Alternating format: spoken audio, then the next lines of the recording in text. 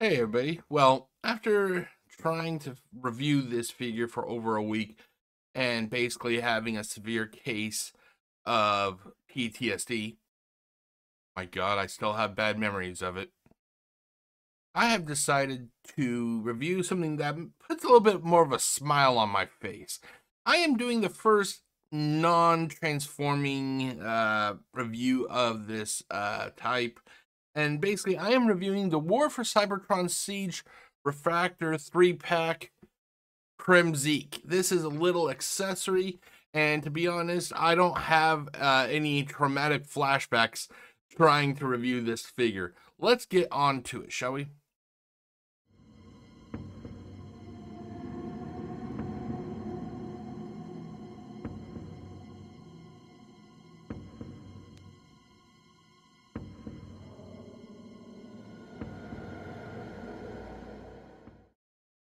Sometimes, even a little piece of plastic that has no articulation can sometimes bring a smile to somebody.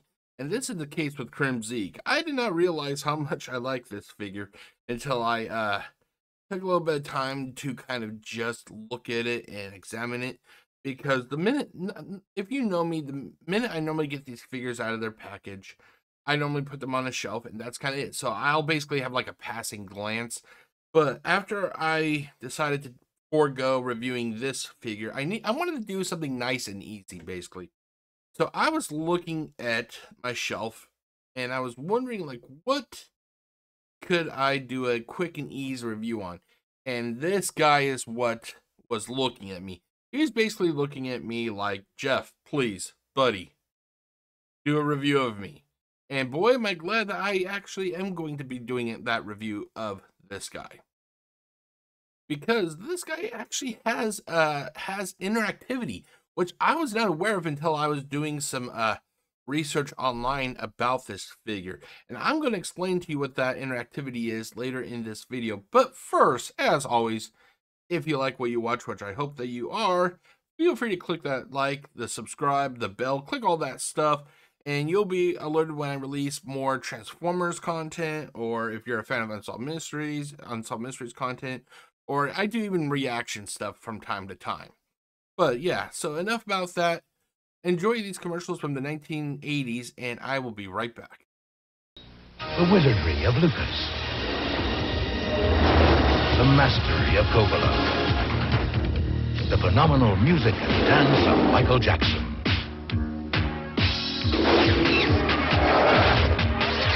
Captain EO. in spectacular 3D. Coming September 19th to Disneyland and Walt Disney World and nowhere else in the universe. Sometimes bigger isn't always better, ladies and gentlemen. And that's the case with our friend Kremzeek here. Uh, due to his small stature and the fact that he is not always uh, uh always produced by Hasbro. Here, get him a little bit closer. There you go. I know that. There you go. Even though he is not that produced uh, often by Hasbro, when something like this comes out, it, it's a it's a time to celebrate a little bit. And the fact that he, you know, if you put him on next to some other Transformers, it actually tends to make your collection look just a little bit brighter, I guess you could say. But yeah, this guy is clearly clearly the proof that doesn't you don't have to be big to always send a great a good message, basically. Anyway. If you are looking for Kremzeek, this figure was actually, or this accessory was part of the War for Cybertron Siege Reconnaissance 3 pack. Uh, it, uh, include it was all three, basically all three refractors, which I freaking hate. I prefer the term reflector. Well, Jeff, his name is technically Refractor according to Hasbro. Yeah, and I prefer to call him Reflector. So, yeah, bite me. Anyway, so if you're actually just wanting this figure, you're going to have to pay. Uh, it's a little bit of a high price. Granted, you're getting three deluxe class figures on uh on Amazon. You can find this figure if you or this set if you are not if you don't care about uh Amazon Prime, you just want to buy it from a third party or whatever. they're actually selling it for about $69.99 plus uh, whatever shipping is. However, if you are a member of Prime, it'll cost you about $20 more, roughly, give or take, after taxes. So it's basically up to your choice how you want to uh, buy this uh, set. Sadly, they have never, never, never, ever released this figure by itself and which is kind of which is kind of sad because of the fact is that it is actually a very nice uh, accessory for your figures. Now, when it comes to this guy, I mentioned how the Kremzeek has some uh, interactivity, and here I'm going to show you exactly what that interactivity is. Okay, so regarding the interactivity, this figure actually has, I know you can't see it because he's so small, he has some ports on his feet that can you can actually hook him up to another transformer that has the same kind of matching ports. So I have our friend Shattered Glass uh, Ratchet here. This is from the two pack that I purchased uh, earlier uh, this uh, fall. But anyway, so basically, like I said, you just have to kind of mat match him up. Oh god, my eyes are.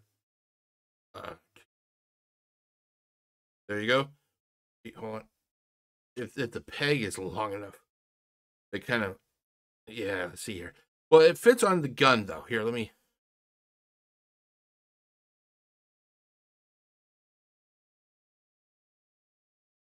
There you go.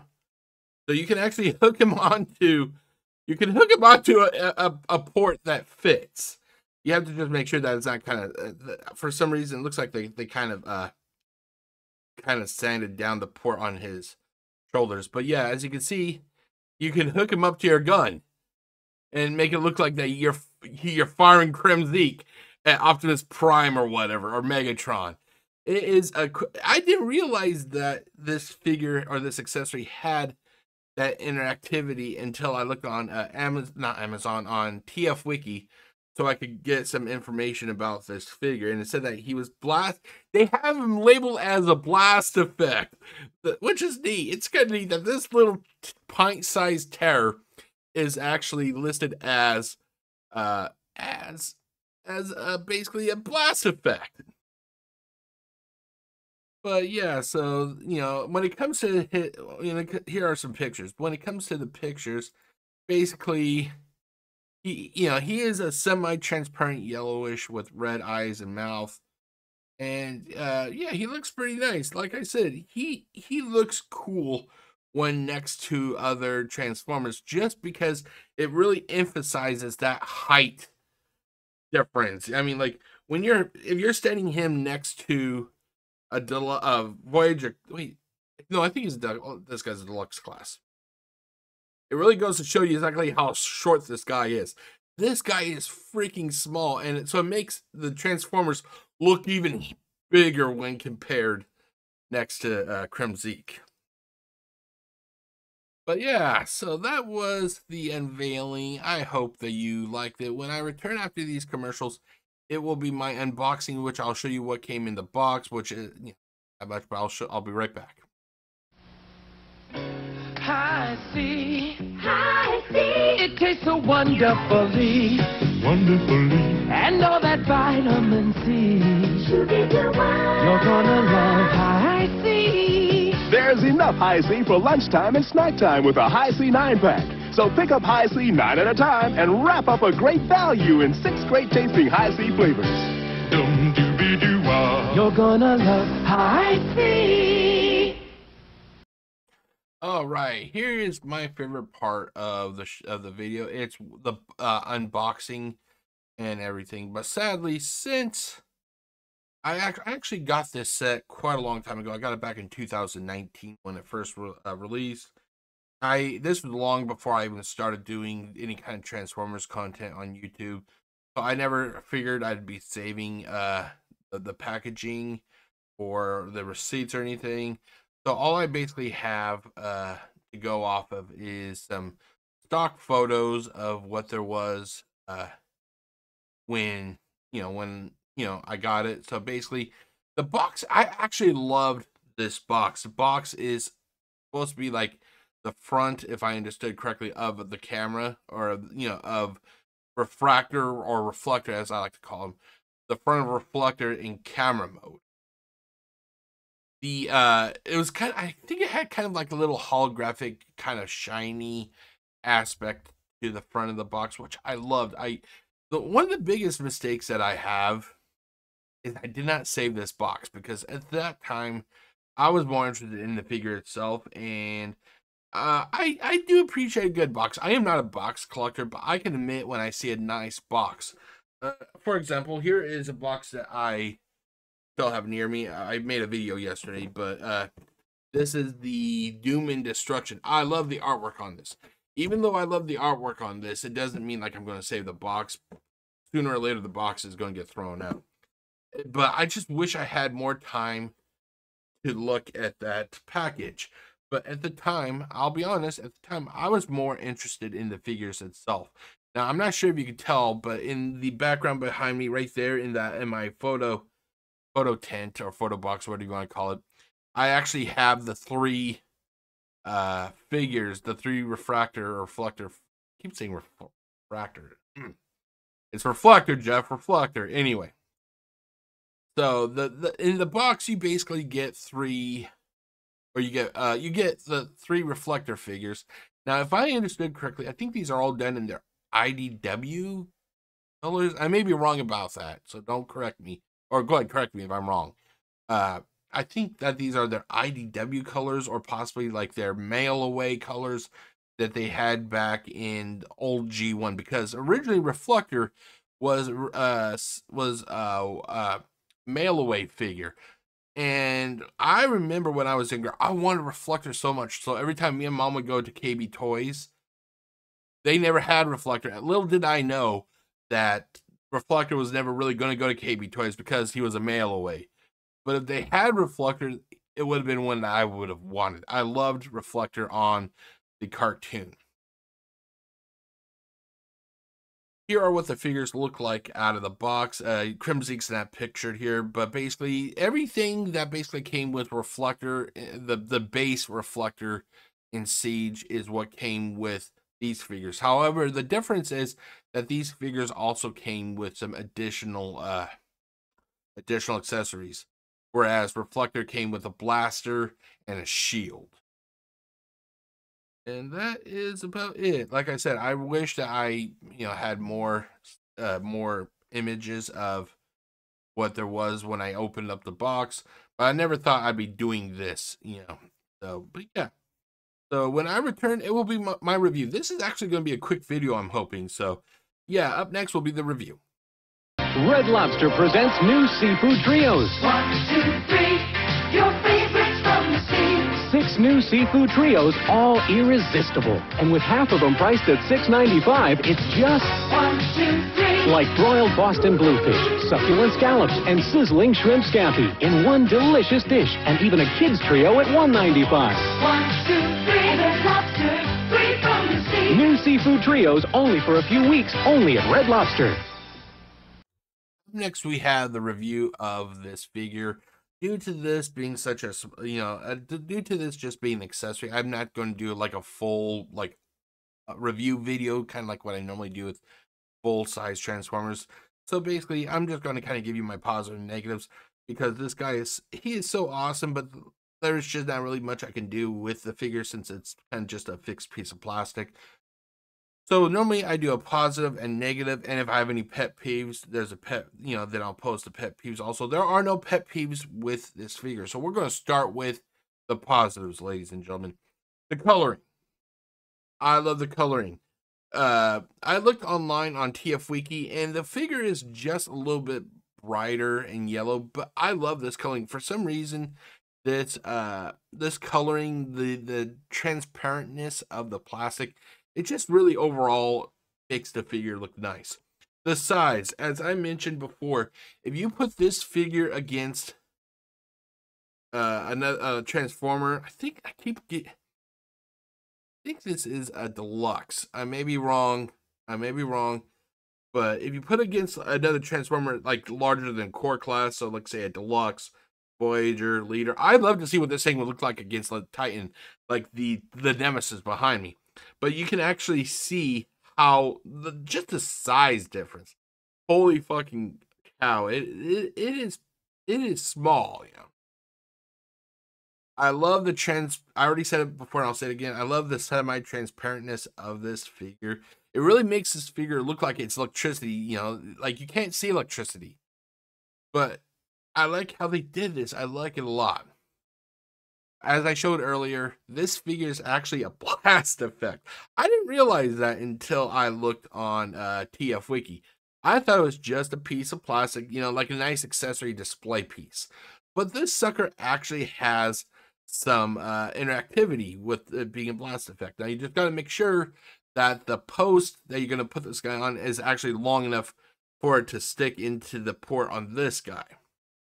And finally, it's an awesome accessory. If you can get past the fact that this is just an accessory, it does not have any, you know, it doesn't have any articulation. This is literally something you can put on your shelf or whatever display piece you have, and it's just going to stand there. If you can get past that, then this is going to be an awesome accessory for your collection. However, however, ladies and gentlemen, there are, as with every positive, there are some negatives. There are some negatives. If you are simply wanting Kremzeek, as of recording this, this this figure, I'm not talking about other versions, but this figure itself has never been sold by itself. If you want this figure, you're going to need to buy the set. And that kind of spins off into the other negative.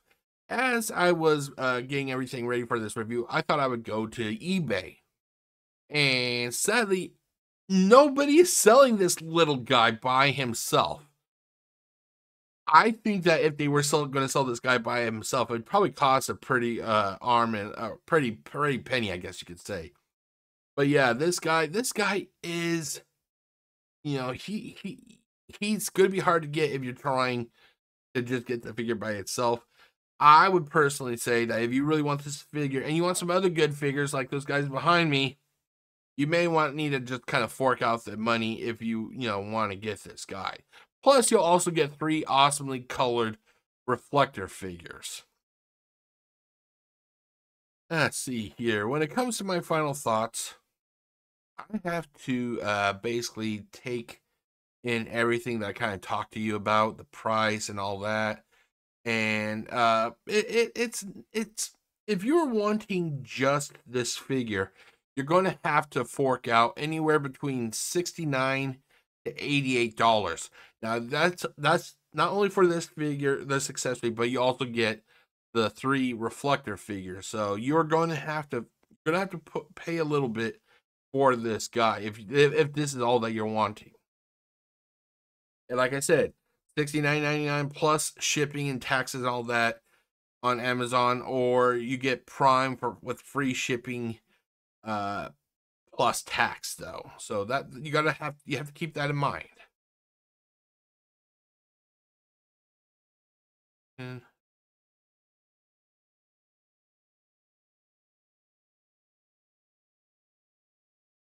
There you go. The the thing that may turn off a lot of people is that this figure is not articulated. It is a static accessory. It was it's the equivalent of like uh the Matrix of Leadership that came with the Megatron spoiler pack from uh the War for Cybertron trilogy or the uh god what I call it the oh god I can't recall what it was called not Vector Sigma. The Allspark, I think that's what it was. It was also another little accessory that came in the uh that came in the spoiler packs. I think it was also for Megatron. I may be wrong about that, so don't correct or go ahead correct me if I am, know. But this guy does not have any articulation, so that could be a turnoff for people. But if you want something that looks nice on your shelf or your table or whatever, and you don't care about you know articulation this guy would look pretty nice with your figures and like i said before it will it also shows you know it helps to show the difference in size between Kremzeek and your transformers. Okay, so now I'm going to ask you the question ask the question, should you buy this figure yes and no? And honestly, the answer is yes if you can afford the set. If you can afford the set because you're not just going to be buying Kremzeek, you're going to be buying three other figures. So, I you know, you're going to have to keep that in mind. Is it worth the investment? And for me it was. I love recolored uh figures already, and so basically, when I bought, when I originally bought that set, I was wanting the reflector figures. And I'll be honest, I kind of just kind of ignored this guy a lot. It wasn't until, like I said, I wanted to do a quick and easy review because this guy brought back so many nightmares I I was able to sit and I took a look at this figure and I just realized how nice this uh, accessory is. But yeah, so if you can afford 69 to 88 bucks on Amazon, you may like this figure. But that is it, ladies and gentlemen. That was my review of uh, the War for Cybertron Siege Kremzeek accessory. I do want to say thank you to everybody who has taken the time over the last couple years to subscribe to me. It makes me feel good, honestly. And I hope that, you know, I may have at least given you a little bit insight about this character or this uh, accessory. Do you have this accessory? Do you not have this accessory? Did you know that this figure could be actually used as a blast effect? Uh, in the comment section, let me know what you think. As always, if you like what you watch, which I hope that you are, feel free to click that subscribe button and you know you'll be alerted when I release more content. Until next time, my name is Jeff, aka GCurse. Wishing you all a great day. Stay safe, everybody, peace out.